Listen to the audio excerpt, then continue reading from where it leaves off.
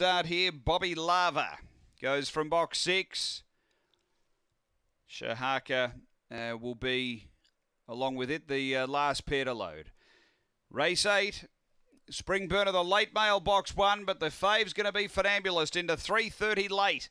Light on, we're ready to go. Box five, Funambulist. It's the favourite. Ready.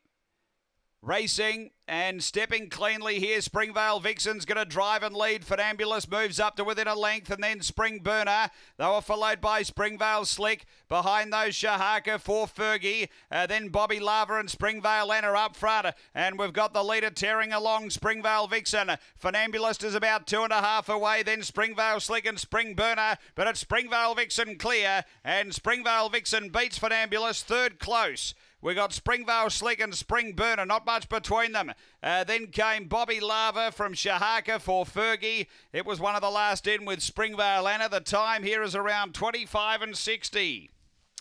After the running of race number six, uh, race number eight, my apologies, the winner number two, uh, which is Springvale Vixen. Gavin Harris stepped beautifully. She was able to set up a race winning lead in the very early stages, out by a couple of lengths in the early part and has been too good for Ambulist. Uh, tried her best in second spot, just no match for the winner tonight. And number eight holds third, Springvale Slick for Shirley Barber. Fourth home is number one, Springburner. So it's two, five, eight, one fourth, uh, 25 61 the run after race eight here at the bridge.